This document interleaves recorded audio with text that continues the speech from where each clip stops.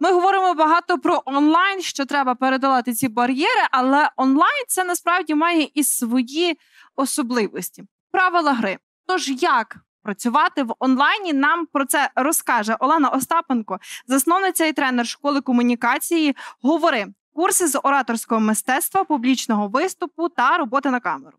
Крім того, з нами Ірина Сігарьова, це також пані, яка розкаже дуже нам багато цікавого. Копірайтер, контент-маркетолог у соцмережах, блогер, експерт із написання текстів для бізнесу у інстаграмі. Дівчата, мої вітання. Якщо чуєте, відгукніться. Доброго дня, я вас чую. Добрий день, е, пані Олена. Мене перше запитання до Доброго вас буде. Е, Ми сьогодні говоримо про продажі в онлайні. І наші дівчата говорять в студії про те, що треба подолати стереотипи, міфи і е, йти вперед, нарешті, сміло йти у цей світ онлайну. Але як туди зайти, якщо людина боїться камери? Ну, є ж такі. Я, як людина, яка працює на телебаченні, точно знаю, що люди в нас бояться розмовляти на камеру. І як долати свій страх, щоб потім заробляти гроші? Так, е, дякую, пані Марія. Дякую, що запросили, і з задоволенням поділюсь своїм досвідом. Дуже рада бачити знайомі обличчя. Дня ще раз Е, так про страхи. Е, Дивіться, насправді е, всі всі люди бояться публічних виступів. От як би там не було, наскільки б в тебе не було досвіду, скільки б ти не працював е, на камеру, на телебаченні, чи е, ти блогер, скільки б ти не працював публічно, ти все одно будеш хвилюватися, і це нормально. І коли до мене приходять клієнти з запитанням: Я боюся, я не знаю, як, що, куди бігти і з чого починати.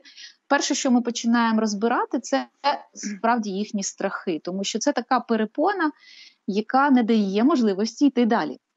Страхи я б розділила на от таких от з досвіду просто свого бачу, розділила на таких дві категорії, навіть на три категорії. Коли ми починаємо хвилюватися, нам заважає фізіологія. Так, ми починаємо, у нас починають пітніти руки, у нас десь починає дрижати голос, е, десь якісь моменти в тілі не дуже комфортні можуть бути. Допомагають е, першу такий секрет відкриваю, допомагає з цим справитися і ліквідувати це легкі фізичні вправи і дихання. Якщо ви дуже хвилюєтесь, головне не забувати дихати, тому що від дихання залежить наш голос, від дихання залежить швидкість нашої вимови, наша дикція і наш спокій, наша впевненість. Других 10% наших страхів це психологія. Це про що ви говорили щойно в студії. Це стереотипи. А як на мене подивляться?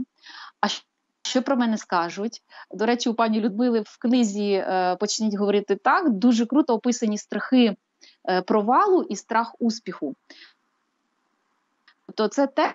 Чекають всі, хто виходить в онлайн. Вони або бояться е, опозоритися на всю країну, так на всіх своїх підписників, або бояться навпаки, що їм будуть дуже заздрити, і їм буде абсолютно некомфортно е, в цій е, в цій ситуації. Так? Е, і е, ще стереотипи і страхи це.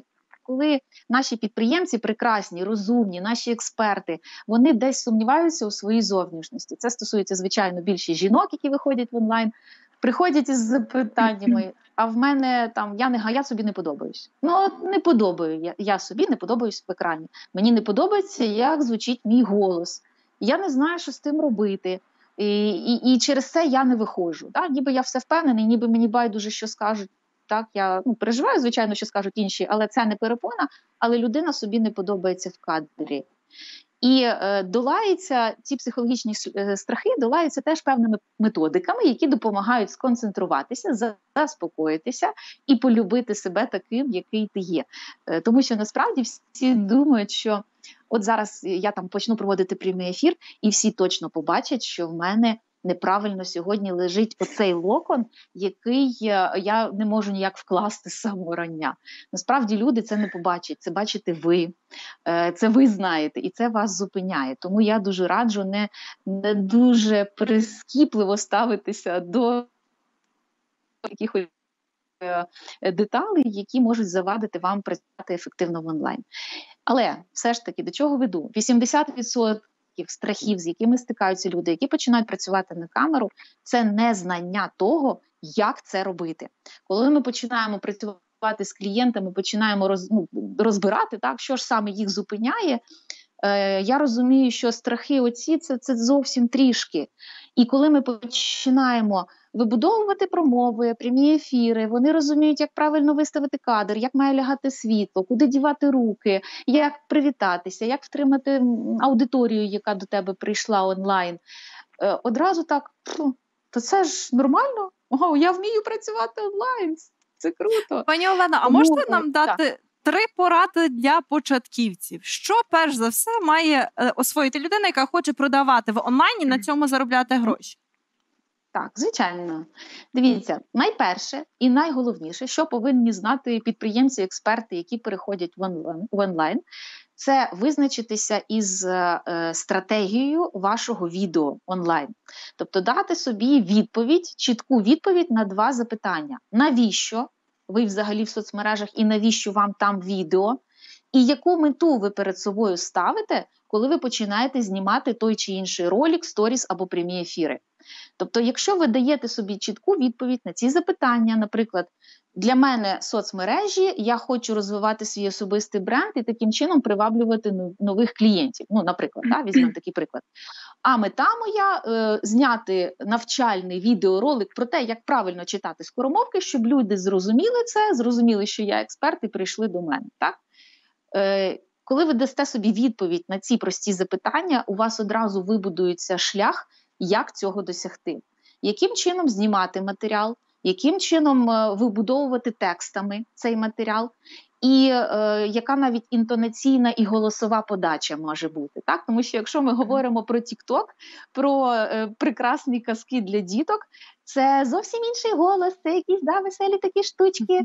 Для це для дітей. Якщо ви говорите як серйозний підприємець, у вас зовсім інша голосова подача. Ви маєте говорити більш впевнено, ви маєте говорити більш повільно. Тобто ці нюанси треба враховувати обов'язково. Друга моя порада, після того як ви визначилися стратегію, треба принаймні, хоч трішки опанувати основи відеозйомки на смартфон. От для того красивого кадру, тому що всі люблять дивитися на красиве. Та?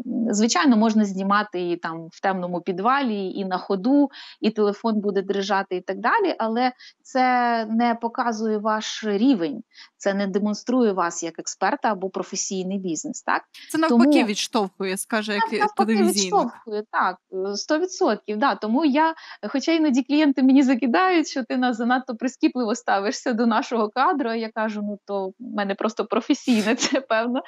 За 14 років на телебаченні я хочу, щоб всі деталі були максимально враховані і переконую в тому, що це важливо. Світло, звук, стабілізація телефону для того, щоб він да, не ходив ходором, ваш зовнішній вигляд в кадрі. Тому що, наприклад, якщо порівняти сторіс і прямі ефіри, це зовсім дві різних речі. Якщо сторіс це ваш лайфстайл, і ви навіть як суперсолідний підприємець можете собі дозволити там з'явитися в спортивному костюмі зранку на пробіжці, або зафоткатись десь там на морі, так в е, парео красивому, то в прямий ефір ви явно так не вийдете. Так тому Пані е, Олено, ми вам дякуємо, що ви сказали поради, але не будемо розкривати всі карти, тому що розуміємо, що це і ваш хліб, і ваш заробіток.